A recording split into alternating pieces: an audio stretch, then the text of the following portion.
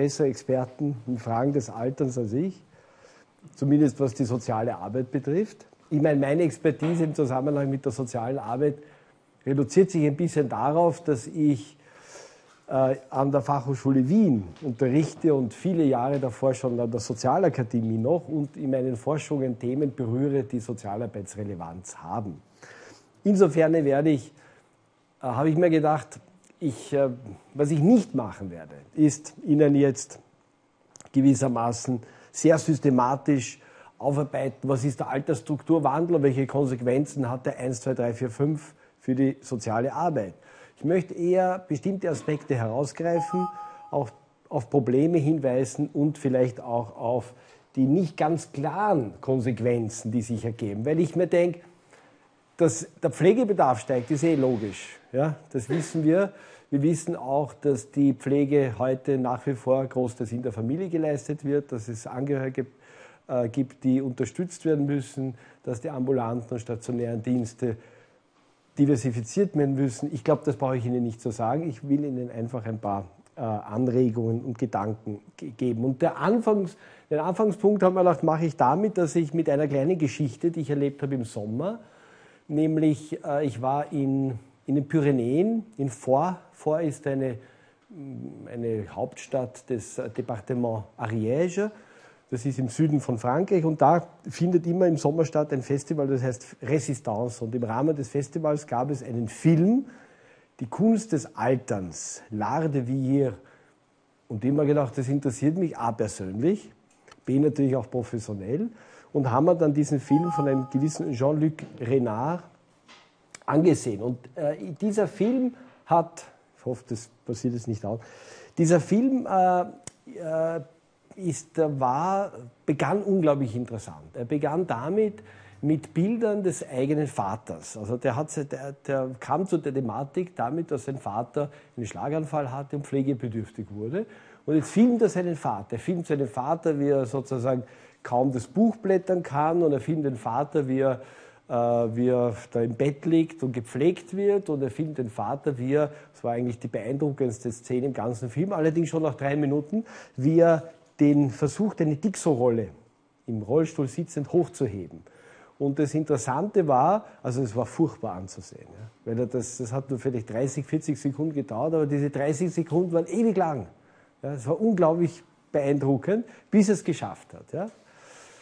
Der Film nimmt nach dieser Szene eigentümlicherweise eine Wendung. Er wendet sich nämlich zu Leuten, alten Menschen, die äh, ein Gegenmodell bilden. Sozusagen den starken alten Leuten, ja, die also jetzt beginnen zu erzählen, wie gut sie das schaffen, mit dem Alter umzugehen, äh, dass sie zwar alle möglichen Schmerzen haben, aber irgendwie, wenn der Schmerz weniger wird, freut man sich äh, wenigstens, dass sozusagen, äh, oder hat man den, den, den Schmerz wieder vergessen. Also irgendwie lauter positive, gesinnte Menschen, bis hin letztlich der Film, ungefähr 50 Prozent des Films, sich entwickelt hat rund um die Geschichte einer Frau und drei, von drei Freunden, die letztlich erzählen, wie sie ihre Sexualität erleben. Das heißt, dieser Film, der die Kunst des Alterns schildert, war ein Film, der beginnt mit gewissermaßen der Erfahrung des Vaters, der im Rollstuhl pflegebedürftig ist und endet in der positiven Vision, könnte man sagen, das, die Kunst des Alterns ist die Selbstbestimmung, ist die Entdeckung neuer Sinnlichkeit, entdeckt die Fähigkeit, auch neue, sozusagen neue Formen der Sexualität, des sinnlichen Erlebens zu, zu, äh, zu entwickeln. Und nun ist ja in der Tat die Entwicklung der Sexualität, ein, also die Entdeckung der Sexualität im Alter ein Thema, das höchst relevant ist, sehr interessant. Es geht nicht viele Jahre zurück, dass das überhaupt thematisiert wurde. Es gibt mittlerweile auch Filme, es gibt ja auch einen ein berühmtes Buch, wie heißt das, Nackt, Nacktbaden oder wie so irgendwie, von einer etwas anrüchigen äh, Qualität der Literatur, äh, wie ich gehört habe. Äh, mir ist trotzdem nicht wohl dabei. Mir war nach diesem Film überhaupt nicht wohl, weil diese Kontrastierung äh, sehr problematisch ist. Ja? Also zum einen gewissermaßen diese Pflegebedürftigkeit, noch dazu im Grunde genommen das Potenzial, das, das der Film eingefangen hat, die Fähigkeit des Mannes, die Dixo-Rolle trotzdem aufzugreifen, wurde eigentlich gar nicht weiterentwickelt, sondern wurde gewisser kontrastiert durch die Fähigkeit, Sinnlichkeit neu zu empfinden. Ja. Jetzt sind das aber keine Gegensätze, ja, sondern es sind gewissermaßen Facetten des Alters, die also nicht in einer Gegensätzlichkeit zu sehen sind, wie das der Film gemacht hat, weil er auch ein bisschen mit den Farben gearbeitet hat. Vater war immer in Grau und Dunkel, das ist vielleicht auch die Abarbeitung des eigenen Vaters. Auch die Mutter wurde einmal gezeigt, überhaupt in der, im Dämmerlicht, ja, das war ganz tragisch. Und dieser sozusagen unheimlich vergnügten äh, Älteren, die über ihre Sinnlichkeit gesprochen haben. Äh, das sozusagen zur Einstimmung. Und ich denke mir, äh, ich werde noch einmal darauf zurückkommen, warum ich glaube, dass das wichtig ist, sich mit solchen mit diesen Produktionen des Bildes von Alter auseinanderzusetzen. In der Literatur, der wir begegnen, reichhaltigst zum Thema Altern. Ja, es vergeht kein Jahr ohne ein neues Handbuch zur Altersforschung, der Gerontologie, der Sozialgerontologie, das Altern für die soziale Arbeit, finden wir drei Sachen im Wesentlichen. Und auf die gehe ich kurz ein. Zum einen sowas wie das Altern im Verhältnis zu allgemeinen Trends in der Gesellschaft. Das zweite, Alter im Sinn des Altersstrukturwandels. Das dritte, der Strukturwandel des Alters. Auf die drei Sachen gehe ich kurz ein.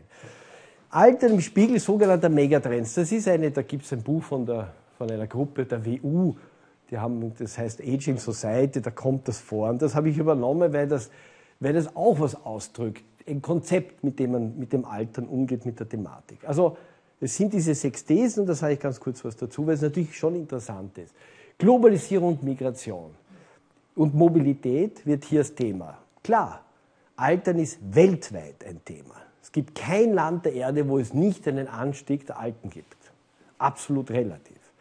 Zweitens, es gibt Migration, ist in dreifacher Weise ein Alternsphänomen. Erstens mal nimmt die Migration weltweit zu, die Mobilität und die Menschen, die wandern, werden alt. Zweitens, alte Menschen wandern. Gar nicht so wenige.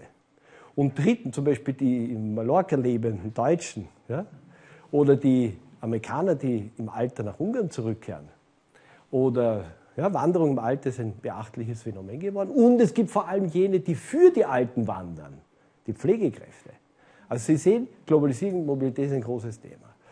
Individualisierung neuer Lebensformen, klar, darüber brauchen wir nicht viel äh, Worte zu verlieren. Das Spannende ist eigentlich, dass wir entdeckt haben, dass die Altersforschung entdeckt hat vor 20 Jahren, 15 Jahren, dass auch das Alter etwas ist, wo sich Milieubildung und Lebensstil ausdifferenzieren. Das heißt, die Alten sind nicht homogen, sondern es gibt ganz unterschiedliche Lebensformen bis hin zu ethnisierten Lebensentwürfen oder etwa das Älterwerden von gleichgeschlechtlichen Paaren und diverse äh, Haushaltsformen und so weiter. Lebenslanges Lernen und Leistungsorientierung. Das ist überhaupt mein Lieblingsschlagwort. Und ich, äh, ich, da muss ich jetzt springen zu einer anderen, nämlich lebenslanges Lernen und Leistungsorientierung. Das ist das Schlagwort des aktiven Alterns. Ja? Wie wird das definiert? Wie definiert das die WHO? Das kommt eben von der WHO sehr stark. Unterstützt von der Bandbreite aller sozialgerontologisch forschenden Forscherinnen und Forscher. Es heißt, das ist der Prozess der Optimierung der Möglichkeiten. Der Optimierung der Möglichkeiten. Gesundheitsfördernde Lebensstil, soziokulturelle Partizipation soll dazu beitragen, den Horizont der Möglichkeiten optimal auszuschöpfen. Also Potenzialaktivierung Le Leistungsfähigkeit. Ähm, Feminisierung als Querschnittsthematik, das ist ein interessanter Punkt. Nicht nur, dass das Alter überwiegend in unseren Gesellschaften weiblich ist, also Frauen leben länger und überleben die Männer, aber sie erleben das Alter objektiv, aber auch subjektiv anders. Das ist ein interessanter Aspekt, zu dem es ganz interessante Forschungen gibt. Zunahmen von Einkommensdisparitäten, man könnte auch sagen neue soziale Ungleichheiten oder soziale Ungleichheit im Alter ist ein ganz wichtiger Aspekt. Und geändertes Nachfrageverhalten, man könnte auch sagen Konsum als ein Motor der Lebensstilgenerierung. Sie sehen, die Worte, die hier sind und die Alten als Konsumenten, ja, beziehungsweise überhaupt die Frage, wobei sich viele Fragen dran schließen, die auch für die äh, soziale Arbeit wichtig sind, zum Beispiel, brauchen die Alten spezielle Angebote. Ja, darüber gibt es sehr, sehr unterschiedliche Auffassungen und es überwiegt die Auffassung, das glauben Sie, ja oder nein, oder es kommt darauf an, es ist immer richtig. nein, Sie brauchen nicht spezielle Angebote, weil das subjektive Lebens, das subjektive Leben nicht altersbezogen oder in der Minderheit der Fälle altersbezogen ist. Das heißt, wenn ich teilhabe an der Gesellschaft, dann interessiert mich nicht ein Gewand, das mich als Alter kennzeichnet, sondern dann nehme ich das wahr, was mir die Konsumgesellschaft anbietet, unabhängig davon, welche Altersgruppe das anspricht. Äh, da gibt es ganz interessante neuere Forschungen dazu. Was eigentlich, worauf ich auch hinaus wollte, ist, hinter diesen Begriffen, die Sie hier sehen, ist natürlich auch eine problematische Folie einer Ökonomisierung. Ja? Alle Begriffe, die Sie haben, sind Begriffe aus der Ökonomie oder spiegeln Tendenzen der Ökonomisierung wider. Das ist ganz wichtig. Zweiter Punkt, was wandelt sich im Altersstrukturwandel? Erstens demografisch, also das ist der zweite Punkt. Das habe ich schon angesprochen, darüber braucht man nicht viel zu sagen. Das ist sozusagen ein Zahlenwerk. Weltweit nehmen die Alten zu, relativ nehmen sie zu, wobei die Jungen noch immer mehr sind, aber sie nehmen zu, die Alten. Und die Hochaltigkeit und die Langlebigkeit nimmt zu. Wir können natürlich darüber diskutieren, was das heißt. Ja? Wir haben am Anfang bei der Intro haben Sie gesagt, die alt, eine alte Gesellschaft, eine graue Gesellschaft. Das, warum nicht? Ja? Es gibt keine Bewertungsmaßstäbe dafür, ob, eine, ob ein bestimmtes Verhältnis von der Altersgruppen gut oder schlecht ist. Ja? Das ist etwas, worüber wir uns einigen müssen. Das ist nicht etwas, was gegeben ist. Es steht nirgends geschrieben in der Geschichte der Menschheit, dass ein bestimmtes Verhältnis äh, für die gesellschaftliche Produktion und Reproduktion vorteilhaft ist. Das ist eher eine Theorie aus dem 19. Jahrhundert, Malthus und diese, diese Leute. Und der dritte Punkt soziologisch. Was sagen denn die Soziologen? Also der Herr Tews 1993 spricht neben dieser Hochaltrigkeit spricht er von Verjüngung, von der Entberuflichung. Also Verjüngung meint, man fühlt sich immer länger jung. Ja? Von der Entberuflichung, das heißt, die Leute gehen immer früher in Pension von der Feminisierung immer mehr Frauen, also im, Alter überwiegt der Anteil der Frauen und die Singularisierung. Viele leben allein im Alter. 1993 ist das publiziert worden und ich meine, äh, ich brauche dazu, glaube ich, wir haben nicht sehr viel Zeit. Damit verknüpfen eine schöne neue Metaphernwelt. Die Kräfte des Alters, das war mein Professor Herr Rosenmeier, die späte Freiheit, auch so ein Begriff von ihm. Die Kunst des Alters, die neuen Alten, die Weisheit des Alters, der Herr Baltes aus Berlin. Wunderbare Metaphern, die natürlich kontrastiert werden heute, 20 Jahre später, nachdem der Tev sein Buch veröffentlicht hat, mit einer ganz anderen sozialen Realität. Nicht, dass die Realität schlecht ist heute, sie ist anders. Sie ist zum Beispiel geprägt dadurch, durch stark auseinander treibende Geschwindigkeiten des Alters. Das heißt, die Art und Weise, wie gealtert wird, differenziert in unserer eigenen Gesellschaft. Das ist natürlich verbunden auch mit dem dritten Punkt der sozialen und öko ökonomischen Ungleichheiten. Ja, das, das, Altern, das subjektive Altern und überhaupt die Alterswahrnehmung, wann wird überhaupt das jemand alt, wann wird jemand den Arbeitsmarkt überhaupt noch integriert, weil er jung als jung wahrgenommen wird, das hat sehr viel zu tun eben mit den sozialen Ungleichheiten.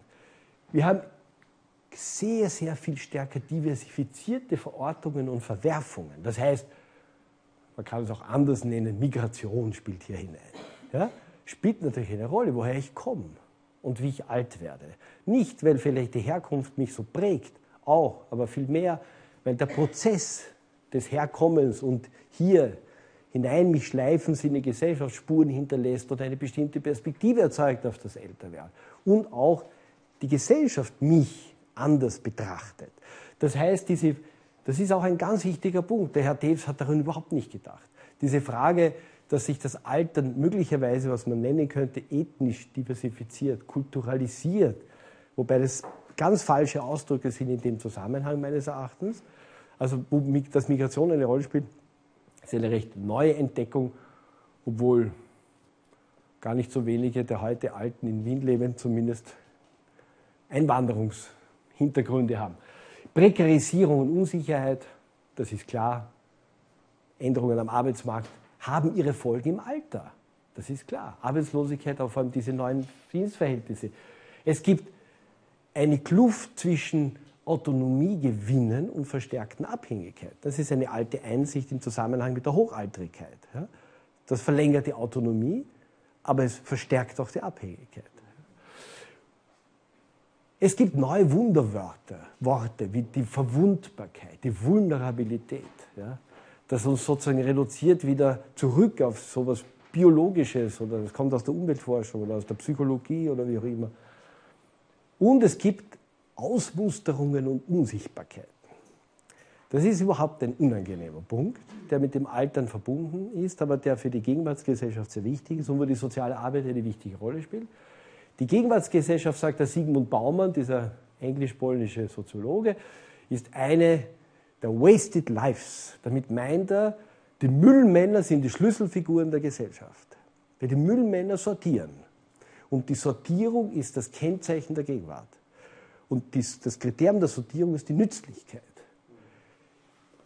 Natürlich wissen wir alle, das Alter ist eine Phase der großen Nützlichkeit. Wir versuchen es seit Rosenmeier und herab so zu definieren. Die Gerontologen machen das.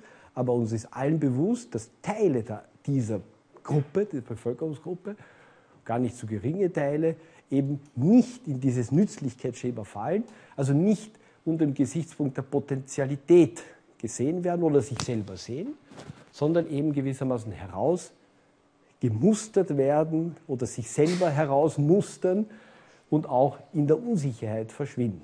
Ja, das ist etwas, was, was sehr, sehr wichtig ist für die Gegenwart. Im Unterschied zu dem, zu dem Optimismus der 80er, 90er Jahre, die sich in dieser Sertevschen äh, und, äh, Formulierung wiederfindet. Und da ist ein Zitat von diesem, von diesem Baumann, der sagt, es ist die Grenze selbst, die den Unterschied zwischen beiden, dem nützlichen Produkt und dem Abfall, erahnt oder buchstäblich heraufbeschwört, den Unterschied zwischen dem Zugelassenen und dem Abgewiesenen.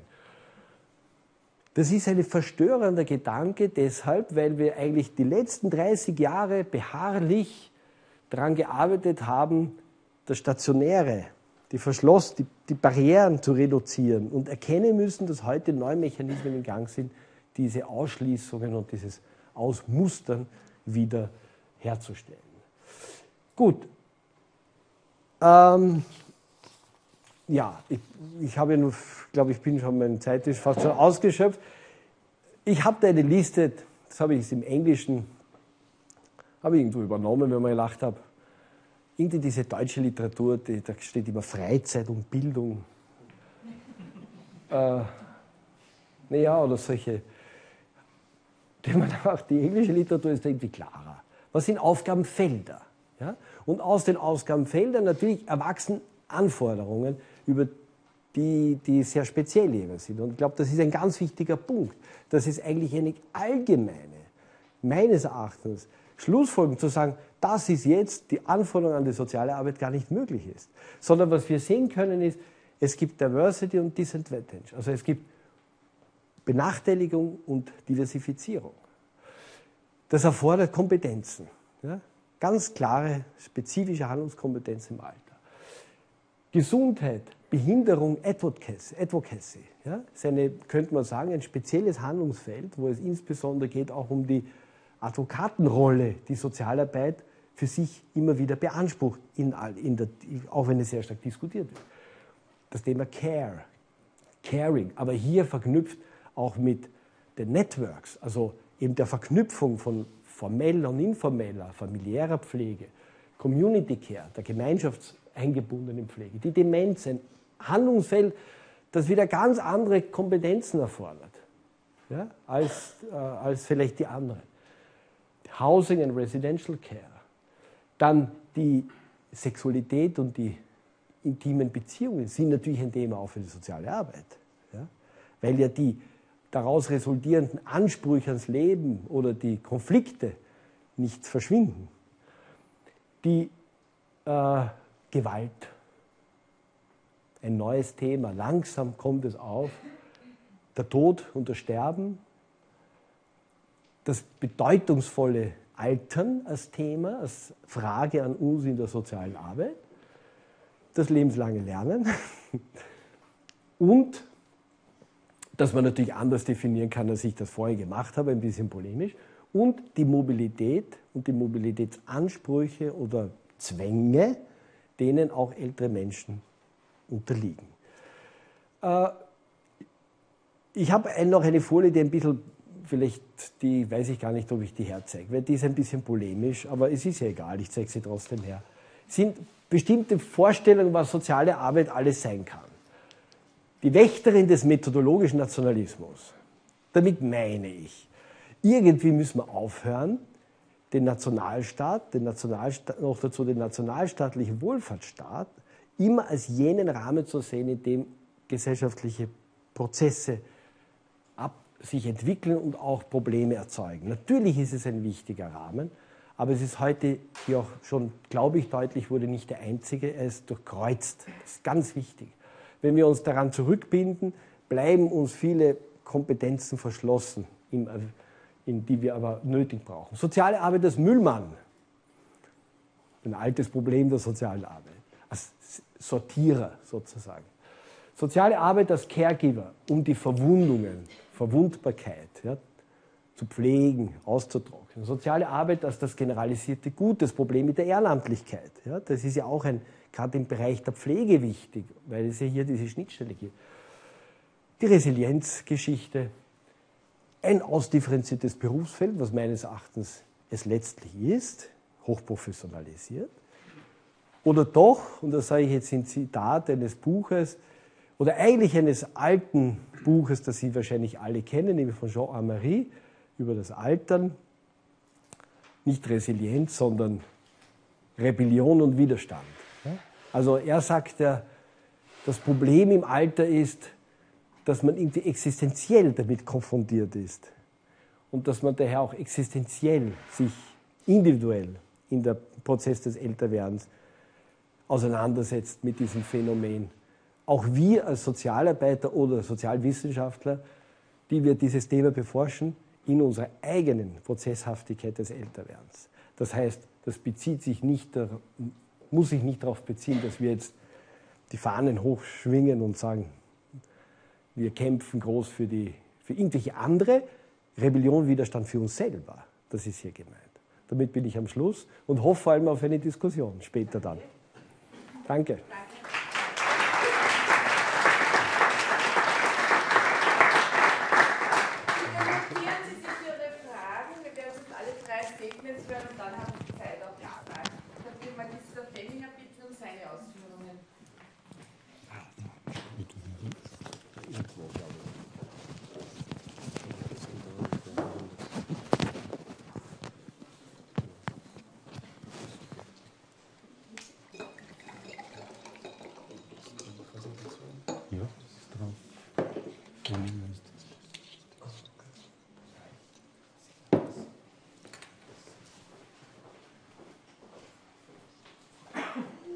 Danke. Es freut mich heute hier bei dem Symposium teilzunehmen.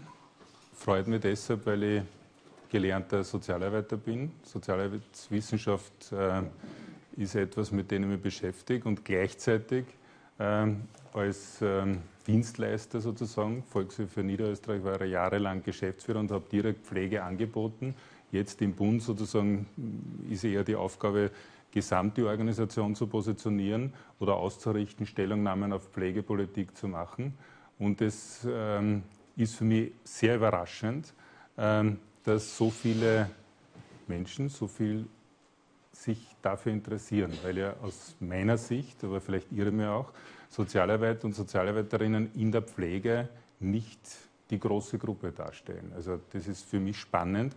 Heute eigentlich, wie ich gesehen habe, unten Rotstift ausgebucht und der Bantucek das auch gesagt hat, dass Pflege und Sozialarbeit sozusagen so stark reflektiert und interessiert, was mir Hoffnung gibt, weil ich glaube, dass wir die Sozialarbeit äh, dringend in der Pflege- und Altenarbeit brauchen und möchte das auch begründen. Ich habe mir überlegt, so drei wesentliche Themen anzusprechen. Das erste ist, ähm, einen kurzen Überblick zu geben, wie die Pflegelandschaft sich zurzeit äh, gestaltet, zum Zweiten einen Ausblick zu geben, welche Herausforderungen jetzt sozusagen wir in den nächsten zehn Jahren, äh, mit, in den nächsten zehn Jahren konfrontiert sind. Äh, zum Dritten die Ziele oder die Probleme oder die Überlegungen äh, anzustellen, wie wir sie besser vielleicht lösen können oder welche Aktivitäten die Politik auch letztlich entfalten muss, um den Herausforderungen besser zu begegnen oder aktuelle Probleme zu lösen. Das wäre so der eine Teil.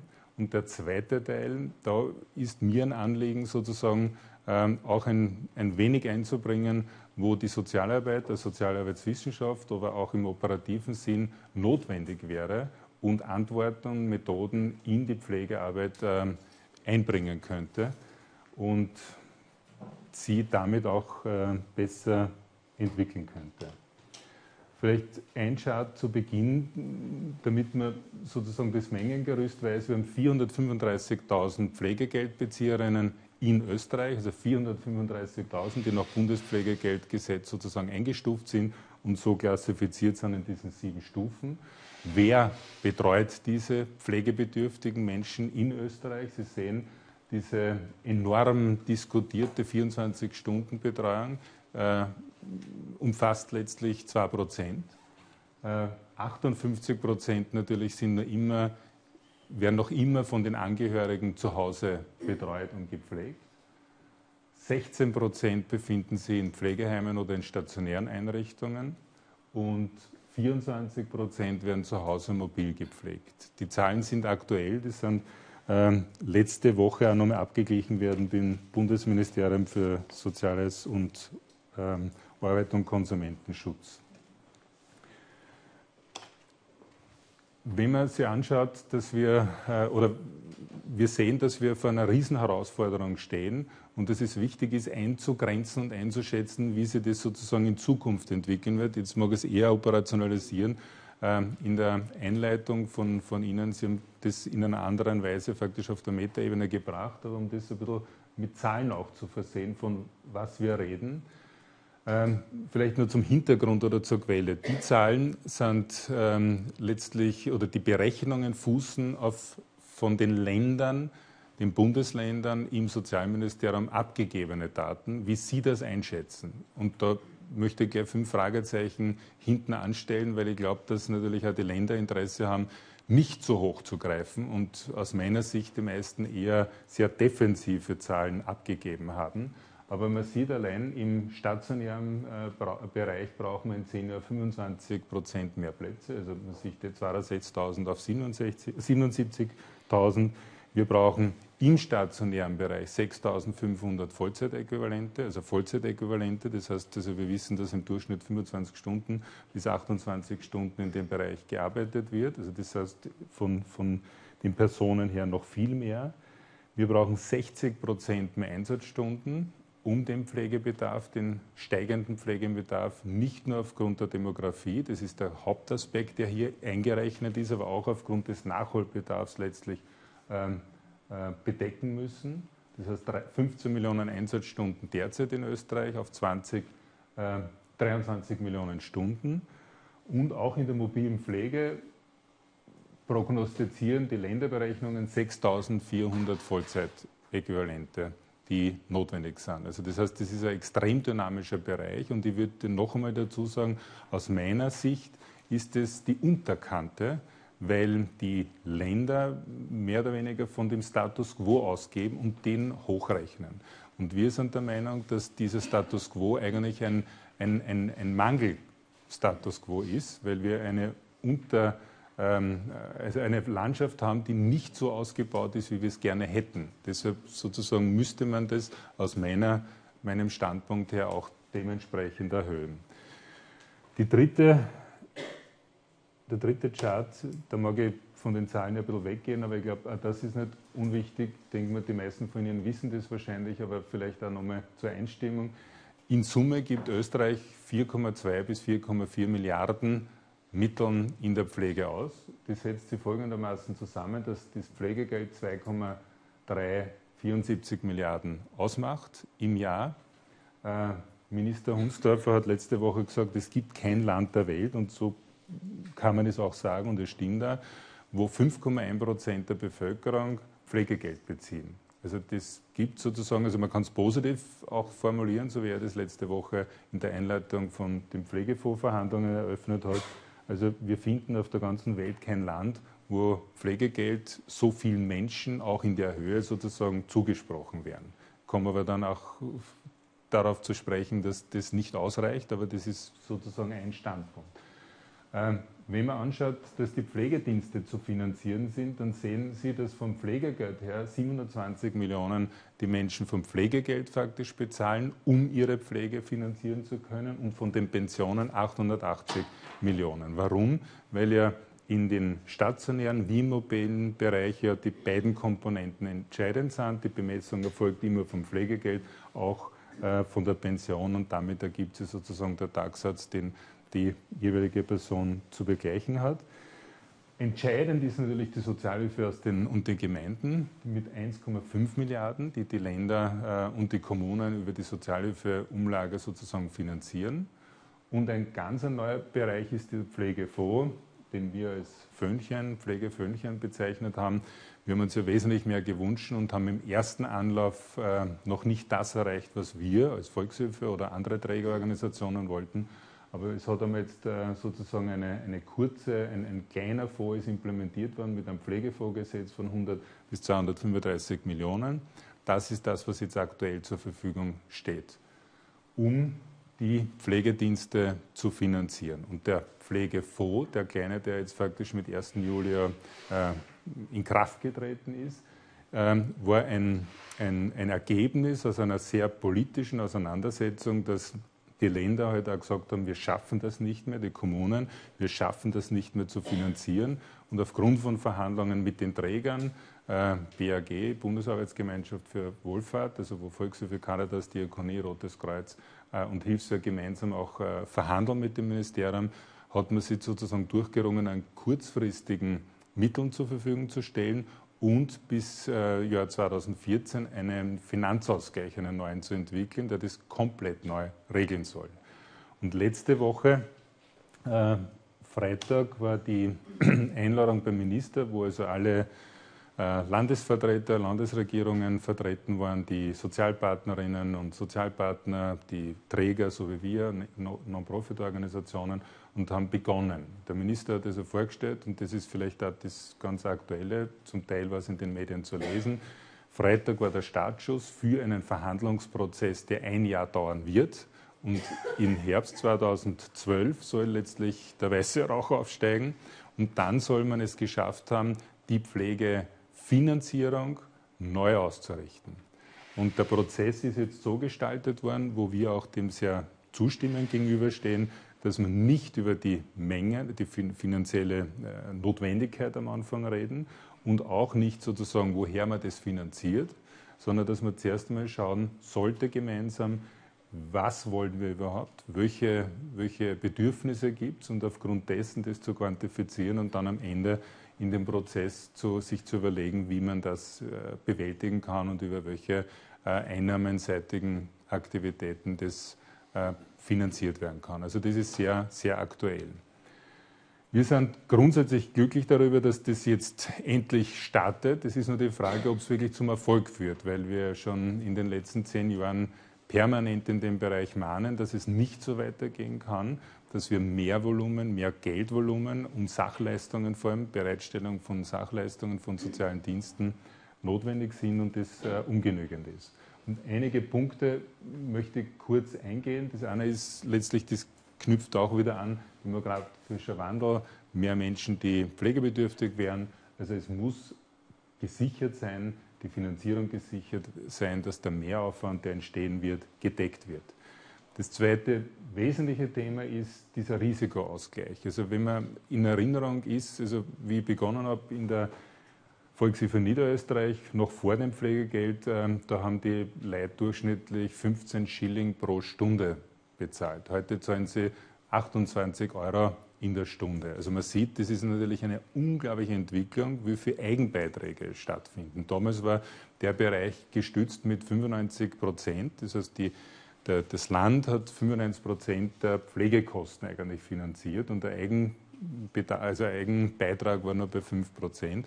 Heute ähm, haben wir das mit 50-50. Wenn man das auf vorhergehende Chart hochrechnet, dann sieht man, dass die Eigenleistung der Betroffenen heute 50 Prozent ist. Natürlich, Pflegegeld liegt dazwischen. Also das heißt, man hat auch hier finanziell etwas getan, aber äh, das ist also eine enorme Entwicklung und die Frage ist, wohin geht es? Und da ist mir wichtig, vielleicht eines zu sagen, dass das die Pflegebedürftigkeit, das wird niemandem von uns abgenommen. Es ist unser individuelles Risiko. Wird man pflegebedürftig? Wann? In welchem Umfang? Das ist etwas, was man vielleicht durch gesundes Leben und, und auf sich schauen äh, beeinflussen kann. Und auch in der Demenzforschung gibt es also einige Ansätze in Richtung äh, aktives Altern äh, und, und diese Dinge. Aber letztlich ist es nicht kalkulierbar. Und heute ist es so, dass die, die, dies, dieses Risiko, das Individuelle, letztlich auch ein finanzielles Risiko in erster Linie beim Einzelnen bleibt. Das heißt, wir haben keine solidarische Absicherung der Pflege. Wir haben eine solidarische Absicherung bei Krankheit, bei Unfall, bei Arbeitslosigkeit, bei Pension, aber wir haben keine solidarische Absicherung für die Pflege. Und wir treten, und ich trete sehr stark ein, dass wir zu einer solidarischen Absicherung kommen sollen und dass es ein klares, transparentes Berechnungssystem gibt, auf was habe ich wann Anspruch. Und da wäre schon der erste Gedankengang für mich äh, sozusagen an der Adresse der Sozialarbeitswissenschaft. Ähm, und das ist ein Thema, mit dem wir uns auseinandersetzen wollen im nächsten Jahr. Wie kann man das quantifizieren und wie kann man solche Parameter entwickeln, um eine Sicherheit den Menschen zu geben und dieses sozusagen Modell dann im Ministerium und Länderverhandlungen einzubringen? Das ist deshalb, finde ich, interessant, weil jetzt die Menschen, und da springe ich praktisch auf einen Punkt, der, der am nächsten Chart steht, nämlich, dass es unglaubliche Unterschiede gibt in den Ländern. Also du kannst da Glück haben, lebst in dem Bundesland der Bay, ich lebst in anderen. Und jeder Landeshauptmann oder Landeshauptfrau stellt sich hin in den Gesprächen und sagt, wir haben das beste Pflegesystem, wir sind so stolz drauf. Und jeder hat wirklich auch Elemente, worauf er stolz oder sie stolz sein kann. Aber es gibt viel Manko. Ja? Und es ist eine geringe Bereitschaft, einfach sich andere äh, Projekte, Lösungseinsätze wirklich ernsthaft anzuschauen, zu evaluieren oder vielleicht ins eigene Bundesland zu übertragen. Und am deutlichsten wird es, was das Mengengerüst betrifft, das individuelle Mengengerüst von Pflege. Ähm, in Oberösterreich und in der Steiermark wird durchschnittlich eine pflegebedürftige Person sechs Stunden monatlich betreut. In Niederösterreich 21 Stunden, in Wien 33 Stunden. Also das ist etwas, was mit Föderalismus oder regionale äh, Anerkennung von Spezifikationen nicht zu erklären oder zu rechtfertigen oder zu verteidigen ist. Und das ist das, was wir meinen, dass das so in Zukunft letztlich nicht gerecht ist, weil alle dieselben Steuern zahlen, aber unglaublich verschieden und unterschiedlich in den Ländern behandelt werden. Das nächste ist, warum entsteht das? Dass zum Beispiel in Oberösterreich äh, die Kundinnen oder die Pflegebedürftigen pro Stunde sehr wenig zahlen müssen, im Verhältnis zum Beispiel zum Burgenland, ja, auch zu Niederösterreich. Jetzt könnte man sagen, naja, dann müsste ja eigentlich gerade in dem Bundesland, wo es so günstig ist, äh, eine hohe Nachfrage sein. Die ist, nur wird es dort kontingentiert. Das heißt, es gibt nur eine gewisse Menge pro Einheit, die zugelassen wird oder die man abrufen kann. Das ist so, so ein Punkt. Oder in der Steiermark ist, haben wir eher die Situation, dass man einen höheren Preis hat und deshalb reguliert sozusagen die Mengengerüste des Landes über, diese, äh, über diesen Zugang. In Niederösterreich gibt es ein System, das im Prinzip versucht, ähm, zwei, zwei, also eine, eine, eine, einen Grundsockel sozusagen zulassen und dann, wenn du darüber hinaus, also über 60 Stunden brauchst, dann gibt es also ein Abklärungsverfahren, um mehr Stunden in Anspruch zu nehmen. Und in Wien gibt es überhaupt Sozialsprengungen, wo das nicht über die Träger läuft, sondern wo Zuteilungen passieren. Also was ich damit ausdrücken mag, extreme Unterschiede, wo unsere Haltung ist, das ist nicht sozusagen regionalisiert, regionalisiert erklärbar im positiven Sinn, sondern die Unterschiede werden sozusagen auch aufgrund der finanziellen Gegebenheiten auch gemacht oder der politischen Ausrichtung. Und das würden wir gern wegbringen. Und noch einmal, Sozialarbeit wäre zum Beispiel ein Thema, gemeinsam Sozialarbeitswissenschaft mit der Pflegewissenschaft, sich zu überlegen, wie könnte man beispielsweise am Bundespflegegeldgesetz, wo wir sieben Stufen haben, also man könnte das jetzt einmal probieren, dass man sagen, wir haben sieben Stufen, das ist einmal definiert, da gibt es einmal relative Ein- äh, relative Übereinstimmung, noch dazu, wo im letzten Jahr die Demenz äh, Beeinstufung hineingekommen ist, dass man sagt, was ist, wenn wir mal das versuchen zu klassifizieren, Pflegestufe 1, 2, 3, das wäre objektiv sozusagen ein Minimum-Maximum-Betreuungsrahmen und dann im Subjektiven zu schauen, in der Anamnese durch soziale Diagnostik, durch Pflegeeinstufungsverfahren, wie viel ähm, jetzt diese Person tatsächlich braucht. Und da gibt es wiederum die individuellen Faktoren und die Faktoren halt der Rahmen also in welchem Haushalt lebt er, ist er barrierefrei, altersgerecht oder nicht. Und das macht, schlägt sich natürlich sofort auf die Stundenmenge nieder.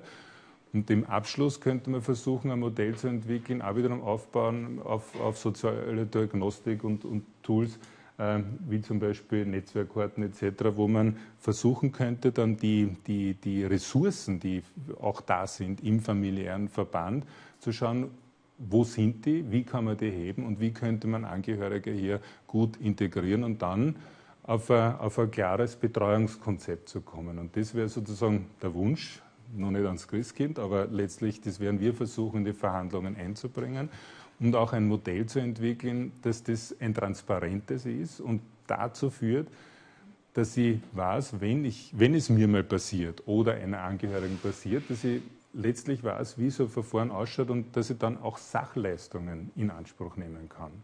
Weil Pflegegeld ist das eine, dass das nicht valorisiert worden ist, kommt dazu, dass natürlich die, dass die, die, die individuelle Menge des Pflegegeldes in den letzten 15 Jahren enorm minimiert worden ist. Das war früher wesentlich mehr wert. Es hat ja nur eine Valorisierung gegeben.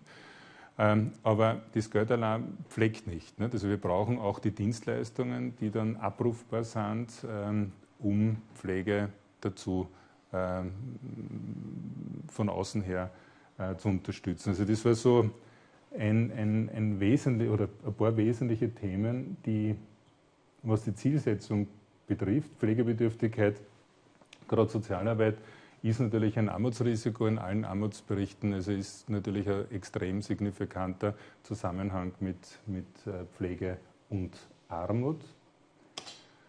Äh, was wäre mir jetzt noch wichtig, Transparenz, habe ich gesagt, ja, Ausbildung. Es ist, es ist sicherlich entscheidend, das hat man eh gesehen, wenn man stationären und äh, mobilen Bereich hochrechnet, dann sind das einmal mindestens 13.000 äh, zusätzliche Vollzeitäquivalente, die man in zehn Jahren braucht.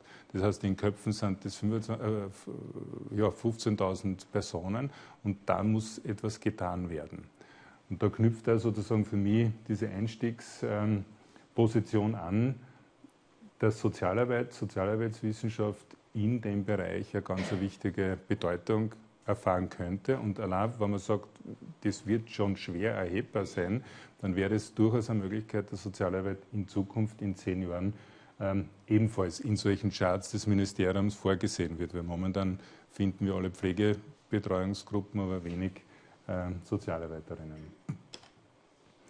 Äh, ich möchte ein bisschen überspringen, damit die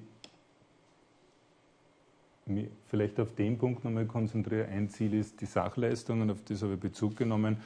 Und da würde auch so einschätzen, vor 10, 15 Jahren hat es in den Ländern noch zum Teil mehr Experimente gegeben, welche Methoden man implementieren soll. Und aufgrund der knappen Kassen erleben wir das, dass das immer schwieriger wird. Das heißt, es ist das, was definiert ist, mit Tagsätzen versehen ist, relativ klar. Aber es gibt ähm, im, in wenigen Bereichen äh, so die Möglichkeit, neue Methoden auszuprobieren. Äh, und wenn ich gerade an den Angehörigenbereich denke, äh, dass wir hier den Bereich sträflich vernachlässigen, indem man die Angehörigen einfach äh, sich überlegt, wie kann man die besser unterstützen, empowern, damit sie letztlich auch in Zukunft über längere Zeit unterstützend wirken können in Familiensystemen. Und da gibt es wenig äh, neue Modelle. Am stärksten vielleicht noch äh, in der Tagesbetreuung in einigen Bundesländern, wo man in Richtung Demenzgruppen geht und wo man in betreute Wohnformen geht. Das sind so die Dinge, die zurzeit eher die Bereiche sind, die ähm, entwickelt werden. Ups.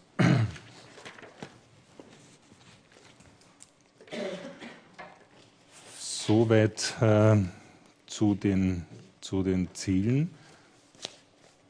Ihr habe einleitend erwähnt, das war so mal der Überblick über die Pflegelandschaft, über die Ist-Situation, über die Notwendigkeiten in den zehn Jahren und die Herausforderungen. Ähm, mir ist jetzt nur wichtig, als zweites Thema einzubauen, sozusagen, welche Qualitäts- und Effizienzsteigerungen, Prozessverbesserungen in der sozialen Arbeit habe ich mich getraut draufzuschreiben, weil in erster Linie ist es noch eine Pflegearbeit und Domäne, Qualitätsmanagement, Patientinnenorientierung, Gleichheitsorientierung. Also Patientinnenorientierung wäre vielleicht schon eine Antwort sozusagen auf, auf, auf Ihre These, dass wir mehr leisten sollten, als nur zu äh, sortieren, sondern tatsächlich eine Orientierung und eine Fokussierung auf die Bedürfnisse der Personen zu haben. Und das setzen wir natürlich auf mehreren Meso-, Mikro- und Makroebene an. Es gibt verschiedene Definitionen von Qualitätsmanagement. Ähm, in dem Bereich ist mir nur wichtig, darauf zu hinzuweisen, dass es ein, wichtig ist, eine Übereinstimmung zwischen den Zielen des Gesundheitswesens und der Kundinnen oder der Betroffenen zu kriegen. Und da wäre mir ein Satz wichtig, dass ich das selbst als Anbieter gerne sagen mag der ökonomische Druck auf Sozial-Profit-Organisationen ist enorm hoch. Ja? Das heißt, äh, was, was, bedeutet das? Die Tagsätze werden geringer, die Stundensätze geringer. Ähm, man steht als Geschäftsführer in ziemlich unter Druck. Ja? Das führt dazu, dass du ständig, wenn man sich zurückdenkt, die Folie auf dieser Meso-Ebene, auf der Strukturebene, da die Prozesse anschaust. Wie kann ich Abläufe innerhalb der Organisation minimieren oder optimieren? Wie kann ich Kosten minimieren? Und die Gefahr dabei ist, dass diese Qualitätsziele in Organisationen, die Pflege oder Sozialarbeit durchführen, nur mehr in den eigenen Strukturen sie abspülen. Ja?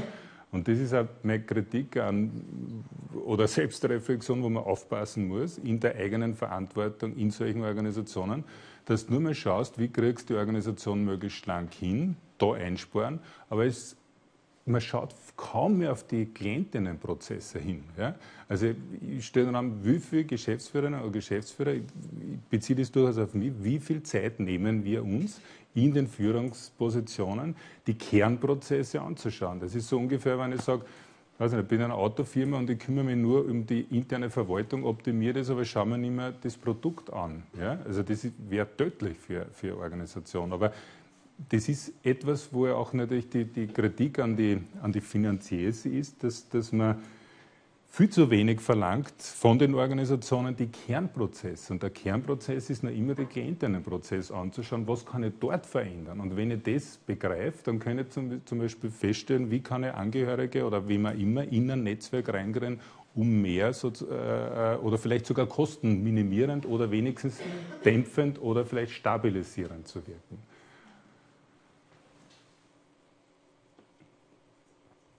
Ich werde es überspringen. Ähm,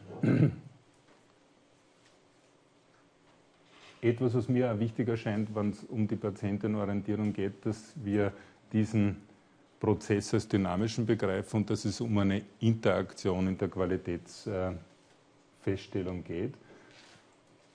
Wie viel Zeit habe ich noch?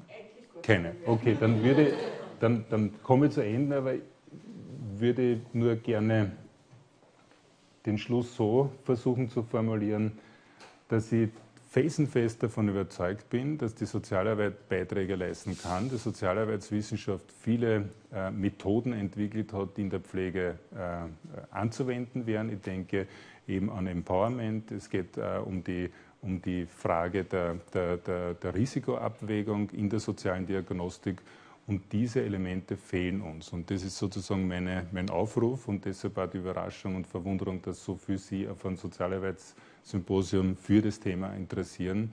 Und ich würde mir wünschen, wenn wir in zehn Jahren uns da begegnen und die Sozialarbeit eine größere Rolle in der Pflegearbeit spielen könnte. Danke. Ja.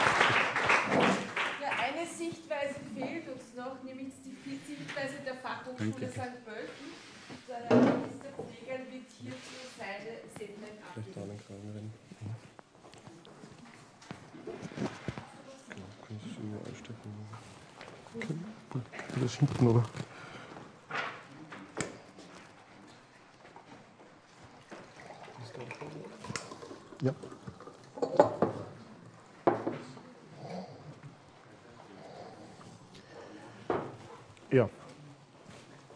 Ja, ich möchte berichten über ein, ein Projekt, das eigentlich unmittelbar anschließt, wo der Herr Fenninger aufgehört hat. Wir haben uns beschäftigt mit Möglichkeiten und Grenzen familien- und pflegebegleitender sozialer Arbeit mit Eltern und Angehörigen. Es war ein Projekt im Rahmen des Masterstudienganges Soziale Arbeit. 13 Studierende haben hier über zwei Jahre lang mitgearbeitet äh, und über diese Ergebnisse möchte ich Ihnen ein bisschen näher berichten. Vielleicht jetzt zur Einordnung hier auf Christoph Reinbrecht zurückkommen. Das ist natürlich nur ein Bereich, wo soziale Arbeit tätig ist. Jetzt sind nach seiner Liste wäre es so der Bereich Caring Networks and Community Care. Also sozusagen, es ist ein gewisser Ausschnitt und es ist uns auch klar, dass jetzt sozusagen nicht soziale Arbeit damit alles abdeckt oder dass wir da alles abgedeckt haben. Und soziale Arbeit, das möchte ich auch vorausschicken, sich jetzt nicht nur sozusagen auf unter Anführungszeichen den Problembereich Pflege konzentrieren soll, also doch immer mit diesem Bild des problematischen Alterns verbunden ist. Äh, nichtsdestotrotz erscheint es uns wichtig. Ich möchte ja nicht auf Details eingehen. Es gibt doch einige Entwicklungen, die eine wesentliche Voraussetzung waren, warum wir uns so intensiv damit auseinandergesetzt haben. Es ist auch schon gefallen, die, die demografische und soziokulturelle Entwicklung. Die Gesellschaft wird älter. Es ist allerdings so, dass Menschen sozusagen älter werden und auch ein größerer Anteil von Menschen gesünder älter wird. Nichtsdestotrotz wird die Zahl der älteren Menschen sehr stark steigen. Ähm, und der Pflegebedarf, das ist auch herausgekommen, wird steigen in dem Zusammenhang. Gleichzeitig als zweite auseinanderstrebende Kraft haben wir die Entwicklung der Erwerbstätigkeit. Die Personen, die hauptsächlich die Pflegetätigkeit heute ausüben, das sind vor allem Frauen im Alter ab 50, 55 plus gegen 60 hingehend, auch in dieser Altersgruppe wird die Zahl der Erwerbstätigen stärker sozusagen äh, steigen. Das heißt, die potenziellen Leute, die das bisher gemacht haben in diesem, und Erich Fenning hat es ja gezeigt, dass ja hier der große Anteil an Pflege stattfindet, ist nicht zu erwarten, dass selbstverständlich sozusagen hier äh, das Potenzial zur Verfügung steht. Das heißt, hier haben wir zwei auseinanderstrebende Kräfte und die dritte ist, Norm- und Werthaltungen, eigentlich zeigen alle Generationenstudien in Österreich oder auch international, das ist auch ein neuerer Trend in der Forschung, dass nach wie vor eine sehr hohe Bereitschaft, eine hohe äh, intergenerationale Bereitschaft, die Pflege zu machen. Und das sind was ein Spannungsdreieck, das dieses Feld Betreuung und Pflege zu einer größeren Herausforderung machen wird. Wie können wir das hinbekommen, sozusagen unter den sich verändernden Rahmenbedingungen? Weiterer Punkt, äh, die Hilfsangebote in der Alpenbetreuung sind in Österreich sehr stark von der Berufssparte der Pflege und Medizin dominiert. Die soziale Arbeit, auch das ist schon gefallen, nimmt nur eine marginale Randstellung ein. Und das ist auch hier durchaus kritisch angesprochen worden. Das haben Sie selbst jetzt sehr kritisch reflektiert. Also über die medizinische Pflege hinausgehenden Bedürfnisse der betreuten älteren Personen und ihrer relevanten Angehörigen findet eigentlich nur marginal und implizit Berücksichtigung.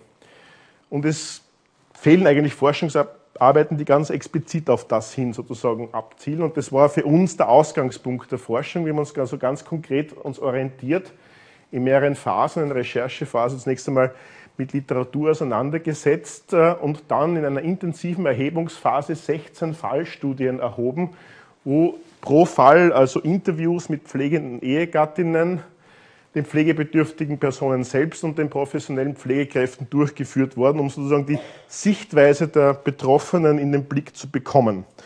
Das heißt sozusagen 16 Fälle. Natürlich ist es nicht überall gelungen, die gesamte Palette zu interviewen. Äh, dennoch haben wir versucht, also mehrere Sichtweisen zu bekommen und tatsächlich die Bedürfnisse, also die subjektive Sichtweise der Menschen, die davon betroffen sind, in den Blick zu bekommen.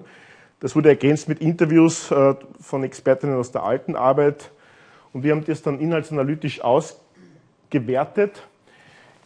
Entstanden sind vier Masterthesen, an denen mehrere Kolleginnen gearbeitet haben. Die eine hat sich beschäftigt mit den Bedürfnissen von älteren pflegebedürftigen Menschen, die zweite mit Möglichkeiten und Grenzen sozialer Diagnostik, die dritte mit Möglichkeiten und Grenzen sozialarbeiterischer Hilfe und die vierte mit Möglichkeiten und Grenzen von Case Management. Und ganz kurz möchte ich Ihnen da sozusagen einen Einblick, mehr kann es in dieser Viertelstunde nicht sein, geben.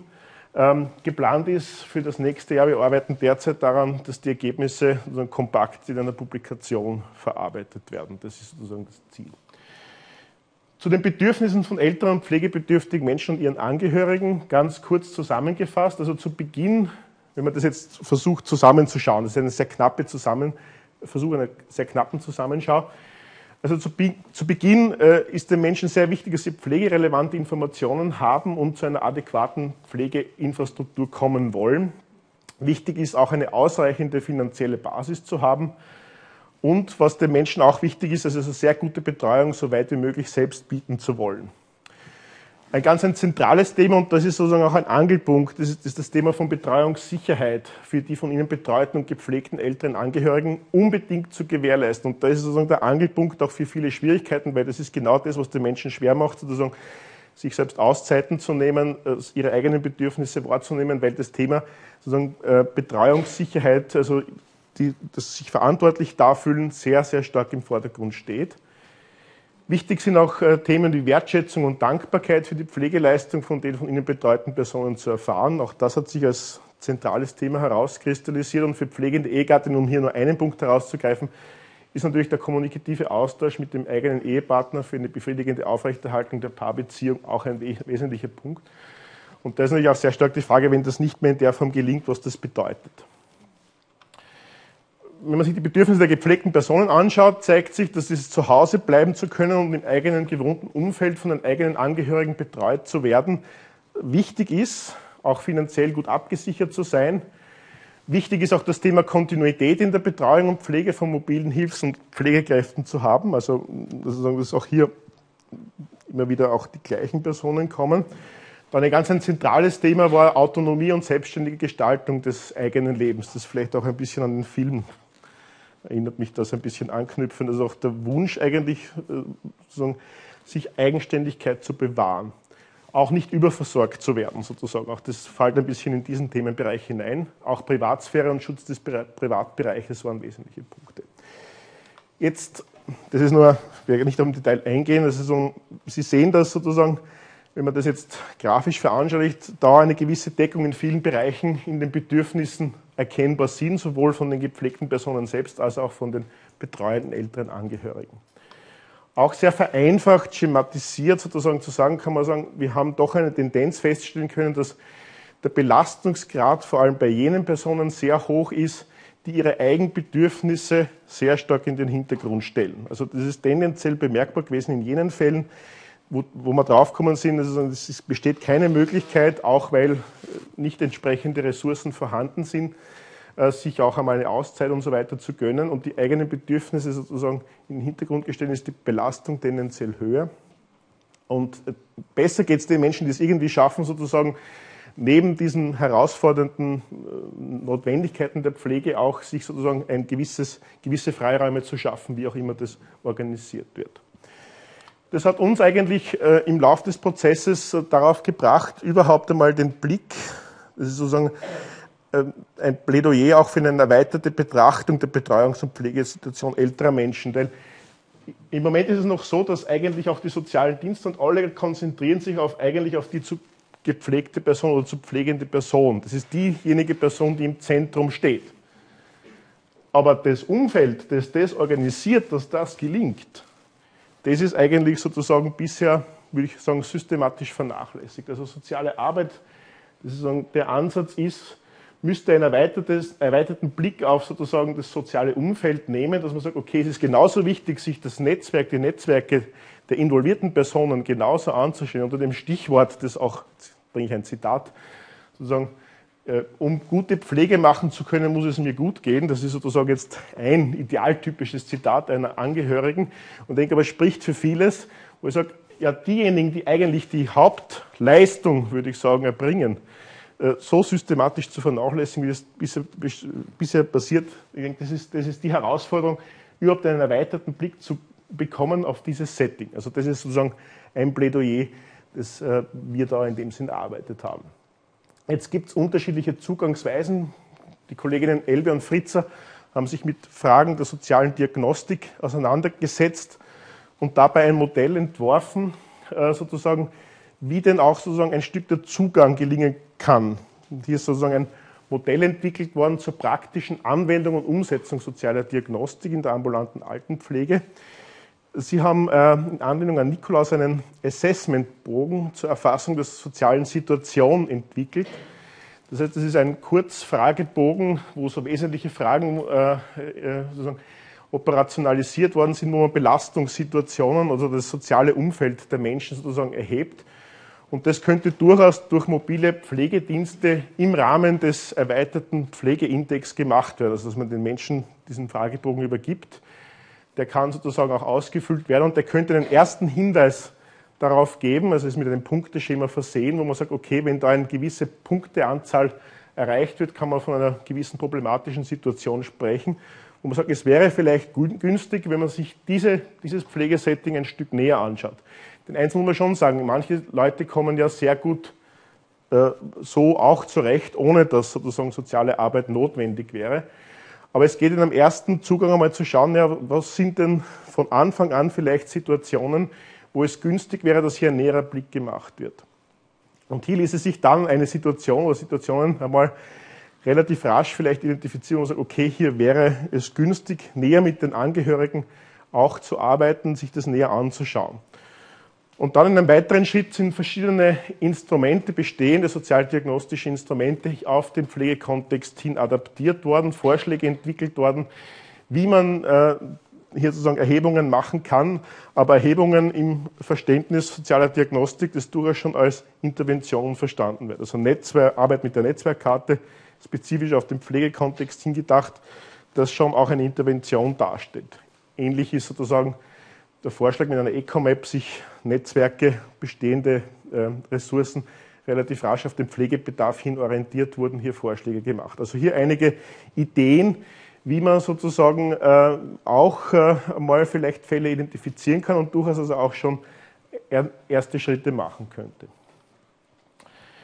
Im Bereich sozialarbeiterische Hilfen wurde gerade sozusagen auf Basis der Ergebnisse mehrere Themen, mehrere Vorschläge, mehrere Teilthemen näher angesehen.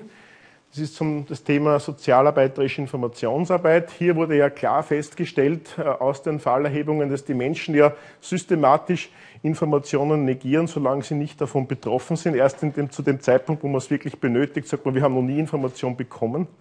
Was natürlich subjektiv äh, in dem Sinn, wo auch zum Teil zugegeben ist, es hat mich bisher nicht interessiert.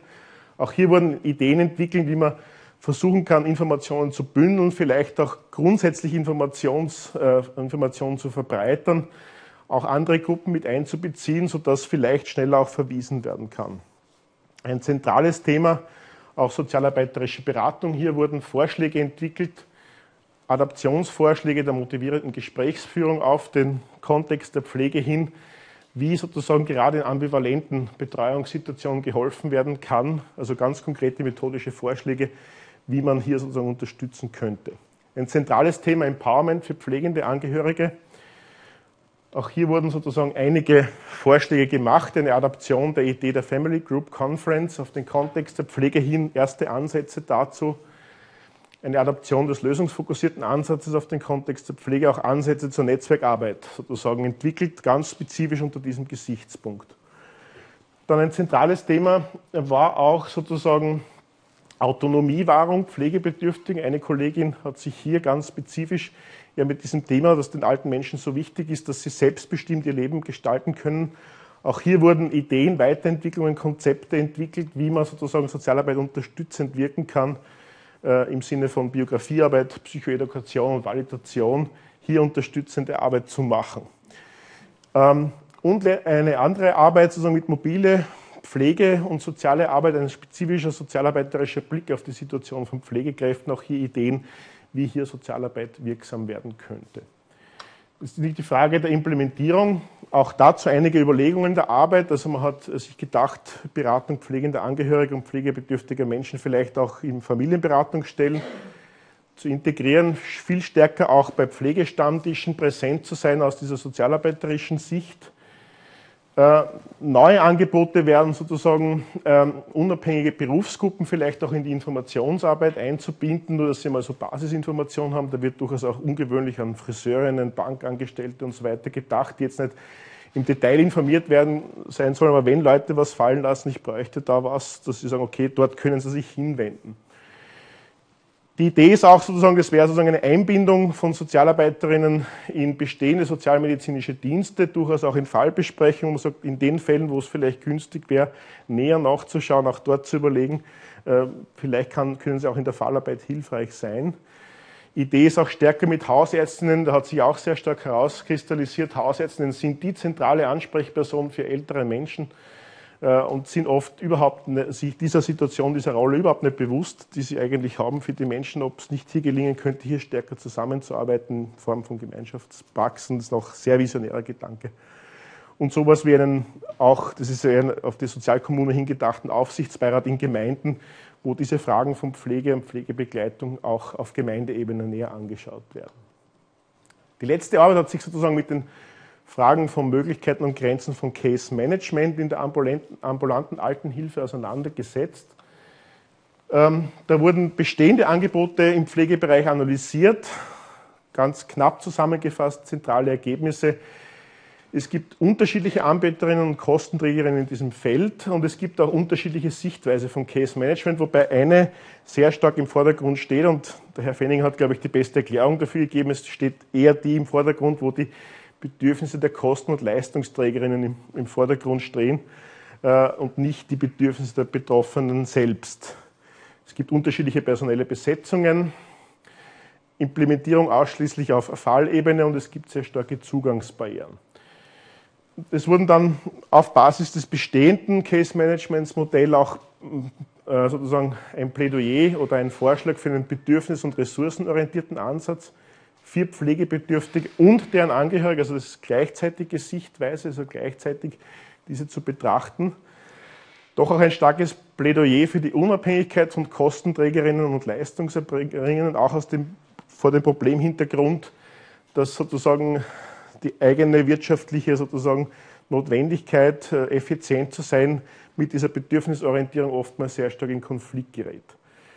Dann ein Vorschlag für eine anwaltschaftliche Funktion und sozialarbeiterische Blickrichtung des, der Case Managerin, also eine sehr starke Orientierung dieses eigentlich dieses wieder genuin eigentlich sozialarbeiterischen Zugangs zu Case Management. Da wurde auch eben dann ein adaptierter Modellvorschlag nach den Phasen des Regelkreises äh, entworfen ein niederschwelliger Zugang, nicht ausschließlich Com-Strukturen. Auch in den Fällen hat sich sehr stark herauskristallisiert, Sozialarbeit könnte dann erfolgreich sein, wenn sie sehr stark zugehend arbeitet. Das ist ja etwas, was zum Teil im Krankenhaus sehr gut funktioniert, wo in den sozialmedizinischen Diensten Sozialarbeitern auf die Menschen zugehen. Und so etwas wie Kontinuität ist ein wesentlicher Faktor. Das ist nur ganz kurz, auf das können im Detail nicht eingehen, dieser adaptierte Modellvorschlag.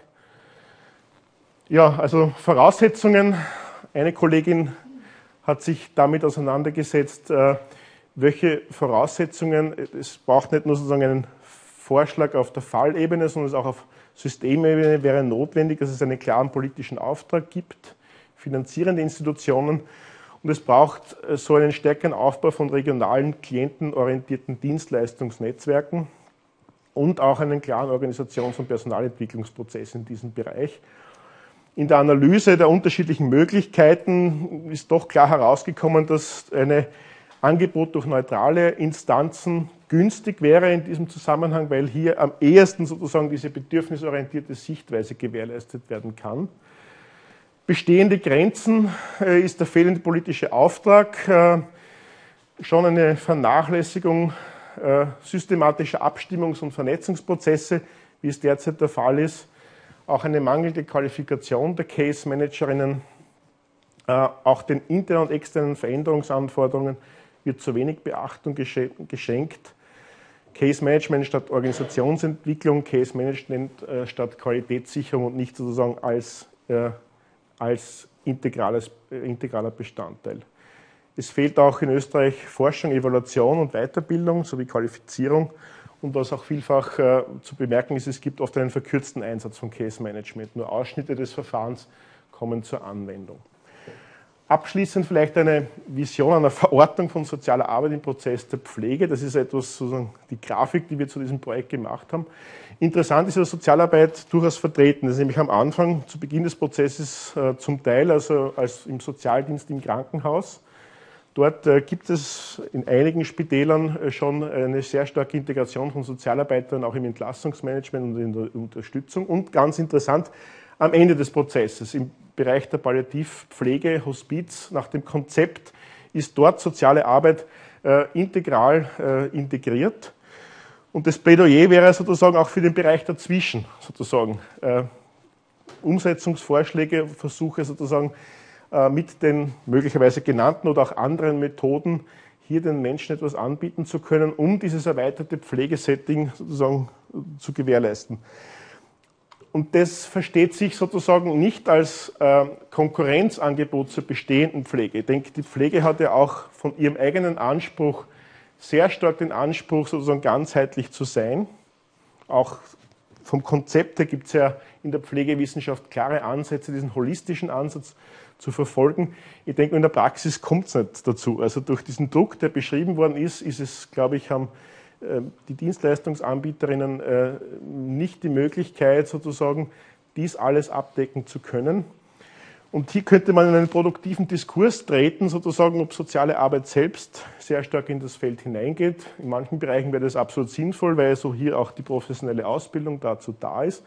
In manchen Bereichen könnte es zu einer sozusagen interdisziplinären Zusammenarbeit kommen. Weil wenn man sich jetzt hier anschaut, sozusagen nach dem Konzept, äh, den Standard Sozialarbeit in Palliative Care, so wird man sehen, dass viele der Punkte, die eigentlich schon 1993 festgeschrieben sind, sozusagen für den Bereich, für einen ganz spezifischen Bereich, nämlich für die Palliativpflege, Hospiz und so weiter, äh, viele dieser Dinge, die wir hier uns angeschaut haben, eigentlich dort schon verankert sind. Also es gäbe Potenzial, diesen diese Punkte zu übernehmen und vielleicht mit den genannten Vorschlägen oder auch anderen Vorschlägen äh, sozusagen auf den erweiterten Bereich zu bringen.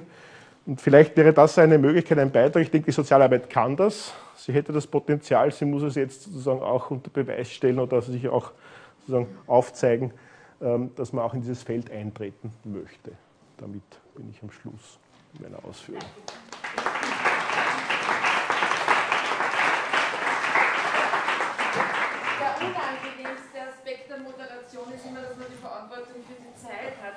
Nur mehr maximal 20 Minuten Zeit.